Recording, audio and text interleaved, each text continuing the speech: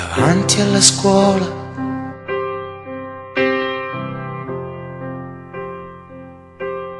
Tanta gente. È una delle esperienze più importanti della mia vita, il fatto di essere cresciuto all'interno di questa casa, il sistema di relazioni, il tipo di educazione che ho ricevuto all'interno della casa credo sia stata un'occasione assolutamente unica, accoppiata alla, alla, formazione universitaria e al realizzarsi di, amici, di amicizie e rapporti è stata di gran lunga l'esperienza più importante. Un'esperienza che poi mi ha portato a far sì di avere un ruolo attivo anche all'interno della città di Venezia, decidere di rimanere a Venezia con la mia famiglia e avere la fortuna e l'occasione così di tornare adesso all'interno della casa per restituire in qualche modo questa grande possibilità che ho avuto e restituire un po' dei benefici che la casa mi ha dato. Nel 1982 quanto è cambiata Santa Fosca? Io sono arrivato qualche anno dopo la fondazione della casa, sono nella casa dal 1986, ma devo dire che esiste questa radice che l'attraversa e che rimane sempre uguale, una radice forte che ha permesso alla casa di affrontare tutti i cambiamenti che ci sono stati attraverso le persone che sono passati, ma anche attraverso un panorama universitario che è profondamente mutato, con corsi di studi che sono passati da 5 anni a 3 a 3 più 2 all'apertura internazionale con progetti Erasmus piuttosto che studenti stranieri che arrivano molto più di frequente nelle università veneziane, ma con una realtà eh, che ha saputo essere flessibile così come un giunco e quindi a sapersi adattare pur mantenendo intatta quello che era il messaggio e la proposta delle origini. Gli anniversari servono per fare un bilancio del passato ma anche per guardare al futuro. Allora che cosa si augura per il futuro di Santa Fosca?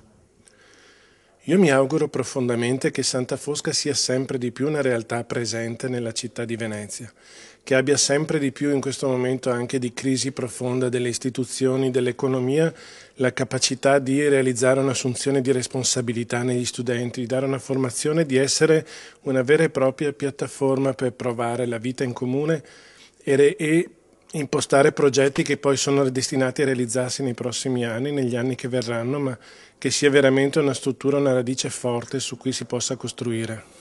Innanzitutto la Chiesa di Venezia ha voluto proporre agli studenti una scommessa, quella che essere cristiani non vuol dire soltanto avere delle idee o avere una, così, una, formazione cristiana, ma vuol dire vivere in un certo modo. E quindi la scommessa è cercare di vivere da cristiani come studenti universitari, che non vuol dire fare una vita noiosa, pesante e, e triste, ma invece eh, fare una vita bella, più bella, la scommessa è più bella perché sei cristiano e quindi la scommessa qui in questa casa è quella di prendersi in mano la vita e giocarsela secondo così il progetto del Signore nella concretezza di tutti i giorni. E la concretezza di tutti i giorni è fatta di che cosa appunto? È fatta di un appuntamento comunitario settimanale il martedì sera in cui la comunità si riunisce ed è importante perché non siamo tanti singoli in cui ognuno fa i propri interessi a discapito degli altri, ma siamo una comunità che sceglie di vivere insieme, che sceglie di vivere ehm, così le dimensioni comunitarie e ha bisogno di un momento di incontro che è fondato sulla preghiera, spesso l'Eucarestia, la messa, ma anche sul confronto e sulla discussione comune dei problemi e anche delle cose concrete da decidere. E poi eh, la, le altre modalità concrete di vivere sono quelle di eh, vivere appunto con gli altri facendosi carico dell'altro, non nell'indifferenza, ma appunto per, facendosi carico dell'altro, sia mettendo, come dire, tempo e impegno a disposizione per la comunità, perciò ciascuno ha un servizio da compiere nella comunità, non solo come un contributo, come dire, per, per, perché così non dobbiamo pagare chi fa queste cose, ma anche come un farsi carico del fratello, per cui se io pulisco le, le sale comuni, evidentemente lo faccio anche per gli altri, è un farsi carico comune, comunitario. E poi, eh, certo, anche il farsi carico dell'altro vuol dire, per esempio, imparare a correggersi gli uni gli altri. La correzione fraterna eh, è uno degli elementi più difficili, ma anche più importanti nella vita comunitaria di Santa Fosca. C'è anche uno spazio riservato alla preghiera? La casa ha un cuore che è Emmaus, ehm, dove eh, c'è conservata la presenza del Signore nell'Eucarestia e la parola di Dio, uno spazio di silenzio, uno spazio anche bello, curato, proprio perché uno possa avere anche un momento personale eh, di ascolto, di silenzio, di raccoglimento.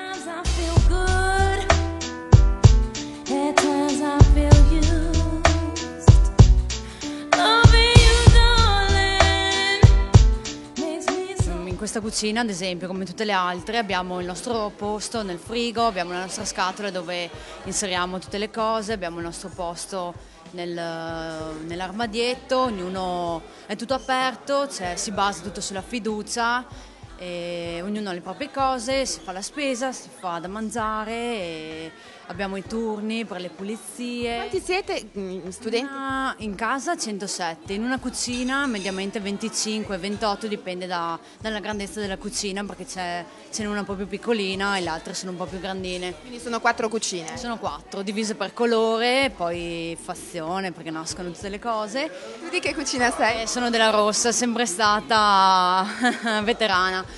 E, ehm, e le pulizie è un'altra cosa che funziona per turni.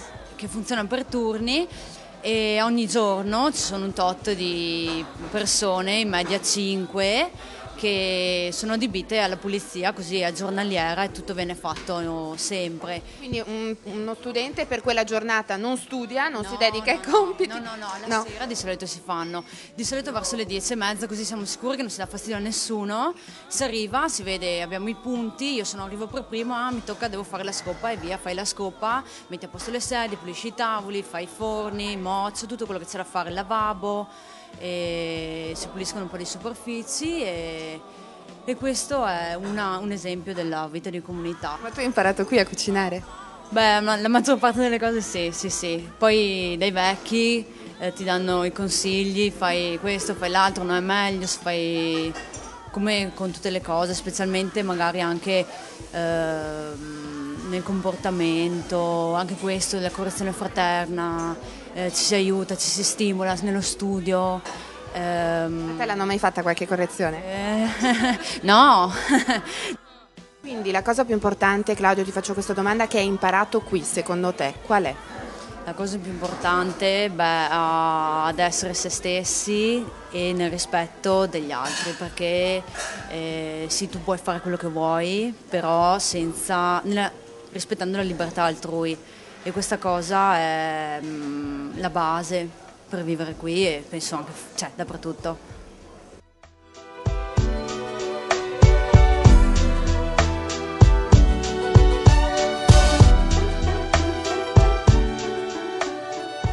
Siccome all'interno di Santa Fosca ci sono studenti di vario tipo come me, da lettere ad architetti, semplicemente ci differenziamo, ci separiamo a seconda di sale studio per eh, architetti o studenti dell'accademia, quindi che hanno bisogno di spazi più ampi per poter eh, distruggersi, o se no altri spazi dediti unicamente per noi di lettere, che sono altre sale studio più in là e che sono più seriose, più come una biblioteca. Tutto. Silenziose. Quante sono le aule studio? In questo momento sono eh, quattro più una biblioteca.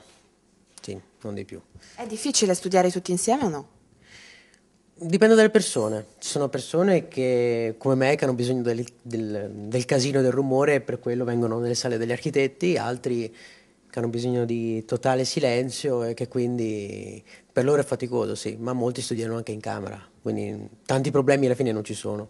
Senti, a proposito mh, di darsi una mano no, anche in sì. questo, eh, voi vi aiutate a vicenda con lo studio? Sì, è più difficile per noi di lettere o materie umanistiche perché più che spiegare qualche argomento o prestare qualche libro è la cosa un po' complicata. È più facile per architetti perché possono proprio insegnare alle matricole come si usa meglio il computer, determinati programmi, AutoCAD, si aiutano a fare plastici, anche se in quello aiutiamo anche noi di lettere tante volte. Un vento a 30 gradi sotto zero. Sono due versanti su cui si gioca la spiritualità nella casa, eh, uno è dal punto di vista individuale, eh, ovvero il percorso che ognuno di noi già ha iniziato fuori ma che continua qui e che si arricchisce di esperienze eh, e di idee anche che vengono dal confronto con, eh, con gli altri studenti che vivono qui. E sull'altro versante invece c'è un'esperienza comunitaria e quindi un percorso che la comunità stessa come organismo eh, fa eh, dal punto di vista spirituale.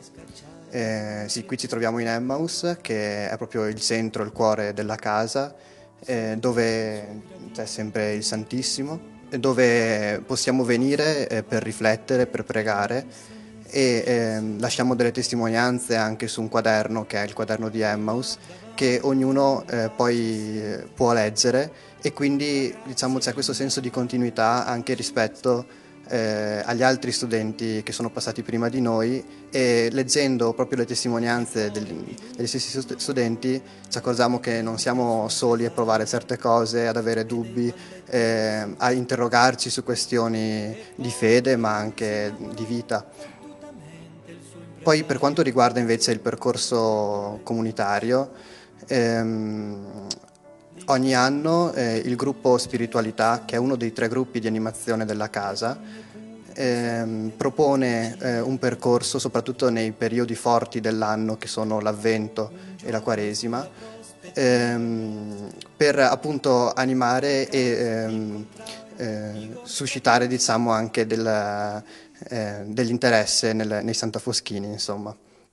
Eh, quindi quest'anno, ad esempio, eh, per la Quaresima sono stati proposti un ritiro spirituale, eh, una via crucis, degli incontri eh, il martedì, che è il nostro giorno in cui ci incontriamo come comunità.